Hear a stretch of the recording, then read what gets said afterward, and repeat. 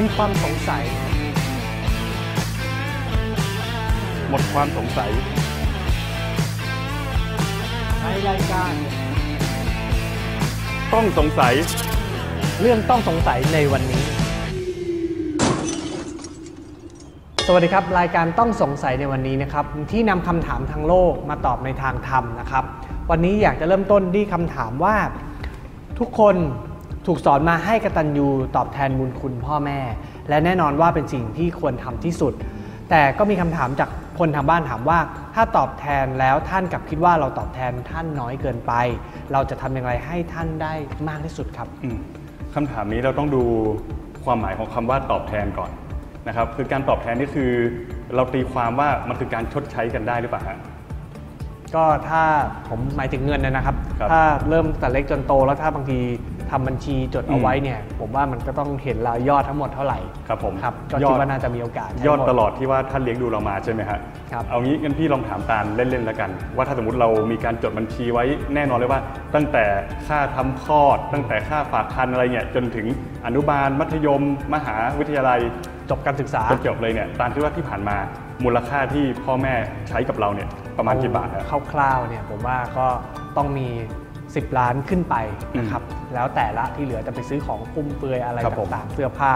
เอ่อหรือว่าคลาสเรียนหรือว่ารวมถึงแบบพวกยานพาหนะต่างๆ ท่องเที่ยวอีกครับผมอย่างน้อยๆต้องมี 10 ล้านแน่ๆอืมโอเค 10 ล้านเกินขึ้นแน่นอนนะครับคราวนี้ถ้าถามว่าเราจะตอบแทนท่านด้วยการที่ว่าชดใช้ 10 ล้านนั้นคืนท่านเนี่ยคิดว่ามันชดใช้กันหมดไหมฮะอืมต้องหมดครับถ้าประเมินไปเนี่ยอีกสัก 20-30 ปีเนี่ยจะได้เตรียมเงิ วางแผนใช่ไหมวางฮะแผนครับโอเคอะสมมุติเรารู้ตัวเลขรู้มูลค่าปุ๊บถ้าทางโลกเราบอกว่าตั้งใจจะใช้คืนให้พ่อแม่ วัดกันที่ตัวเงินอาจจะใช้ได้หมดในบางคน แต่ถ้าสมมติในบางคนที่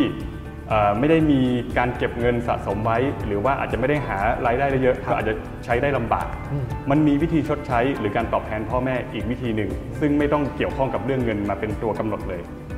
นั่นคือตอบแทนด้วยสิ่งที่ว่ามอบสิ่งที่มีมูลค่ามากกว่าทางโลกจะมอบให้ นั่นคือมอบธรรมะให้กับพ่อแม่ธรรมะเนี่ยนะครับครับผมธรรมะคืออะไรก็คือ มอบ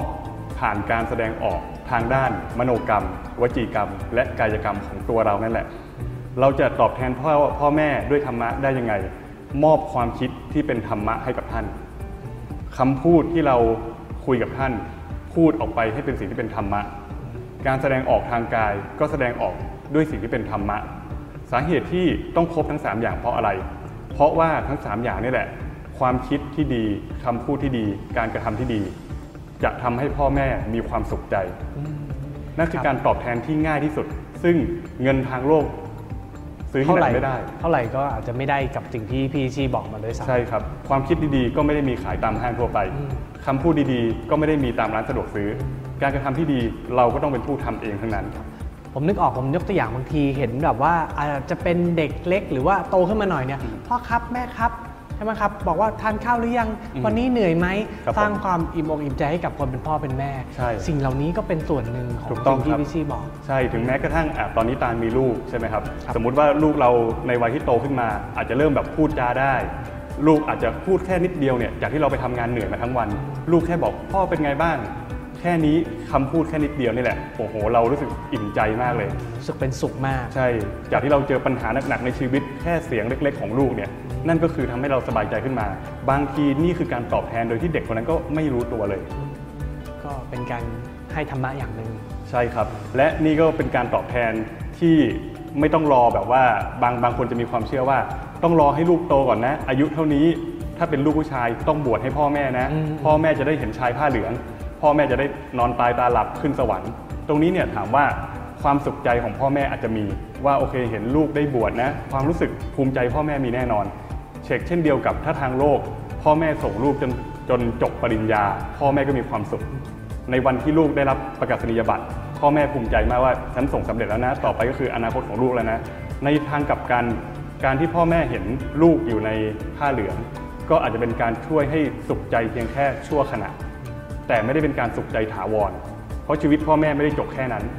ดังนั้นถ้าหากลูกคนไหนได้มีโอกาสเข้าไปแล้ว ได้ไปศึกษาธรรมะในศาสนา ก็นำธรรมะนั้นออกมามาเผยแพร่ต่อพ่อแม่ก็ได้ มาสาสามารถมันสอนต่อครับผมทำเป็นแบบอย่างให้ดูด้วย ใช่ครับ แล้วก็บางทีชี้แนะพูดคุยกับท่าน ท่านจะได้ปรับเปลี่ยนความคิดในทางที่ดีขึ้นได้ด้วยใช่ครับผม ซึ่งถามว่ามันก็จะเป็นการกลับกันละตอนเด็กๆที่เราไม่มีความรู้ไม่มีอะไร พ่อแม่คือครูคนแรกของเรานะครับสอนให้เราพูดก่อนที่จะไปโรงเรียนเนี่ยพ่อแม่สอนเราแน่นอนใช่ไหมฮะคราวนี้เมื่อถึงวัยที่เราต้องตอบแทนท่าน เราก็ทำหน้าที่กลับกัน ถ้าเราสามารถสอนทำให้กับพ่อแม่ได้ นั่นถือว่าเป็นสิ่งที่ดีมากๆเลยครับดีกว่าเงินทองที่เราตั้งเป้าไว้ว่าใช่ครับผมฉันจะต้องทำให้พ่อแม่สะดวกสบาย เหมือนใช่ที่พ่อแม่ทำให้เรายากลำบากกับสิ่งใช่ครับที่ผมหามาให้เราใช่ครับนี้ก็ทำให้ผมรู้สึกว่า เออ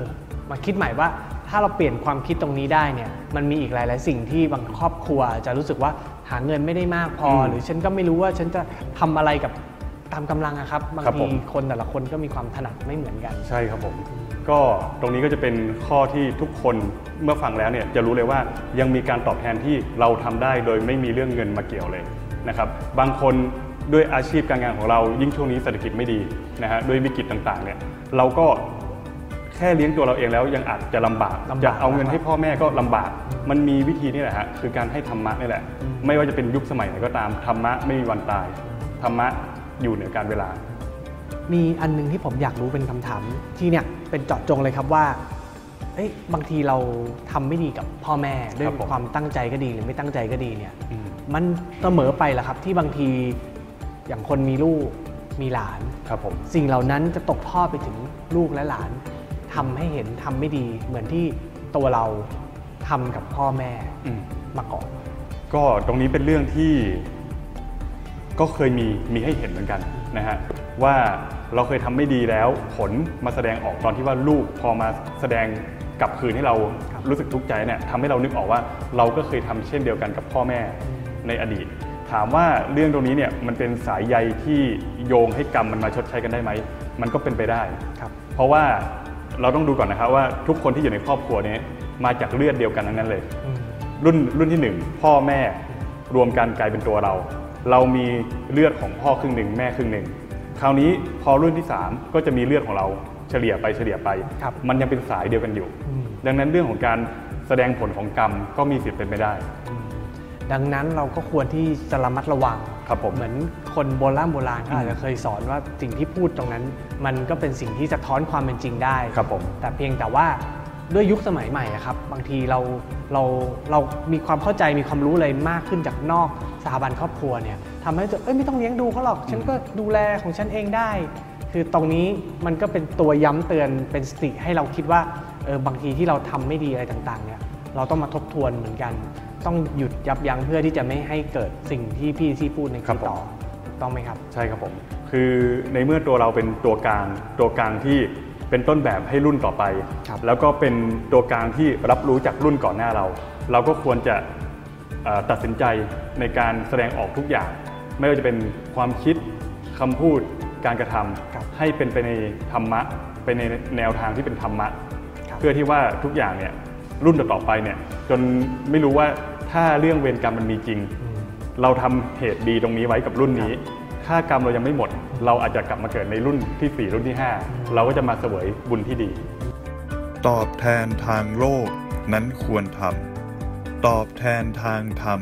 อย่าลืมทำ